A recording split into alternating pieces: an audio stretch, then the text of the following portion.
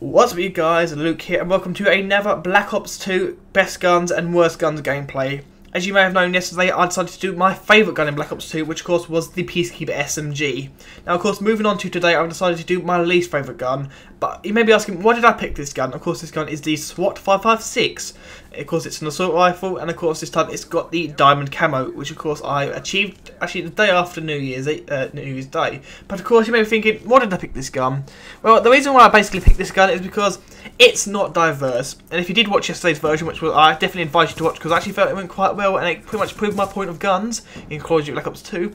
I basically described that the Peacekeeper SMG is a very diverse gun. Now, on the other end of the spectrum here is, of course, the piece, not Peacekeeper, it's the SWAT 556, which basically is a gun which is really good on certain areas, on certain parts of the map, on certain distances. But if you start playing a gun, which I'm doing here, on a kind of map which can be long range, but also short range, it's you can see, yeah, uh, a really short range kill. But of course, I just get completely murdered by any other gun because this gun, as you, if you, as you may know, is a three round burst.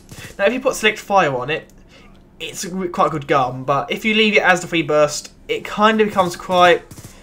You have to really specialise like trying to get close range to medium range kills. Now long range you should be able to pick up quite easily with this gun, but um, it's one of these guns which is good if you can control it, if you know how to use it, if you've got the right attachments, if you've got the right experience using it. But if you're not very used to Call of Duty, it may not be the best gun to use straight off the bat. Basically, the reason I ever, ever started with using three round burst was basically from the FAMAS, and I believe Modern Warfare 2, I believe, was a three round burst FAMAS.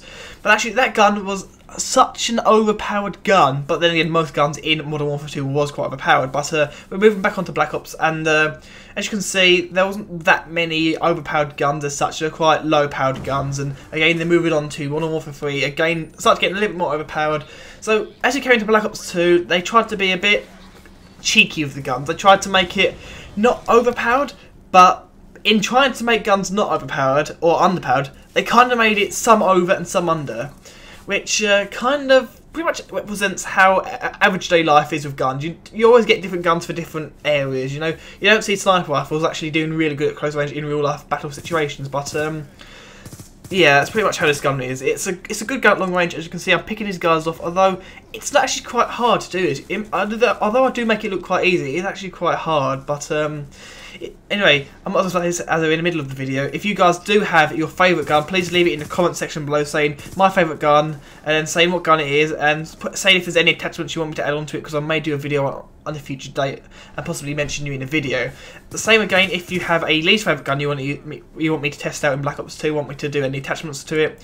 Or remember, put your name in it, obviously that'd be in the comment section, but tell me what gun it is, tell me if it's your worst or best gun, and explain to me if there's any attachments you want me to add on to it. And possibly if it will help me out even more, if you actually put a description saying why you don't like that gun or why you do like the gun, that would definitely become very much in handy for me. But um yeah, anyway, yeah, the actual this gun, as I always keep saying, it's not a bad gun, but as you might have known in my uh, my Peacekeeper video, in fact, the actual Peacekeeper is good because it's a good all-rounder. It's one of these guns that you can use on almost every situation in Black Ops 2. And of course, this guy starts getting a little bit annoying while talking in it, so I apologise if you hear this guy talk. Of course, I mute him. Yeah, guy's getting really on. This is the match. I don't know why I was doing it for, but well, I apologise for that one.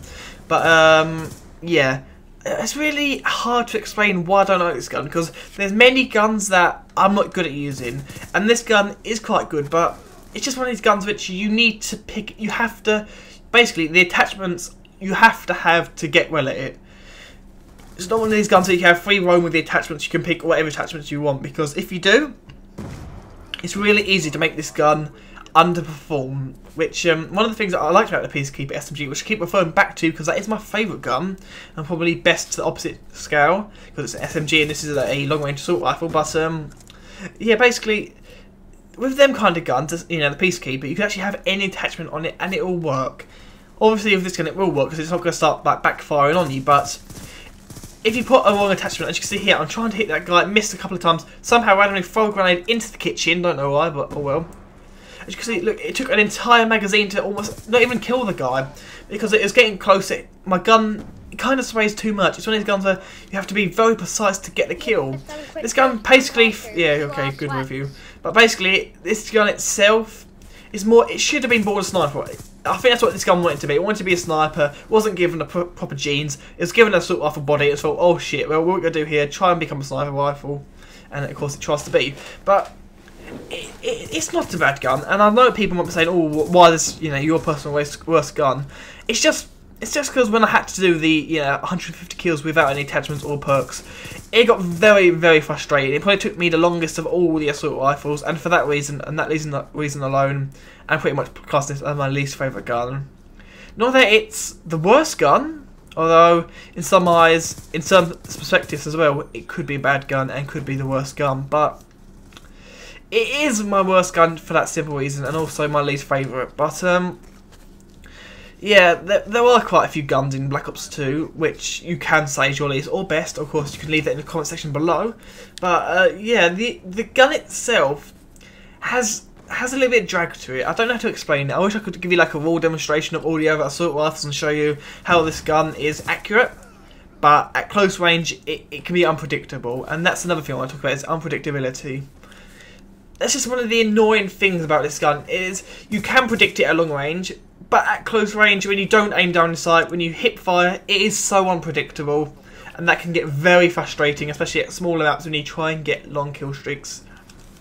So it's not my least favourite gun. Well, actually, it's not my least favourite gun, but I think it's the worst gun to put in all perspective for Black Ops 2. But um, yeah, hopefully you've enjoyed that. Of course, we did lose. It's pretty much becoming a guarantee that if I pick best or worst gun, in fact, I always seem to lose the match. But um, so if you have seen me in the lobby with you and I'm doing one of these best or worst guns, and you're on the opposite team, you probably won that already. But uh, hopefully you guys enjoyed it because uh, I actually quite enjoyed doing this gameplay.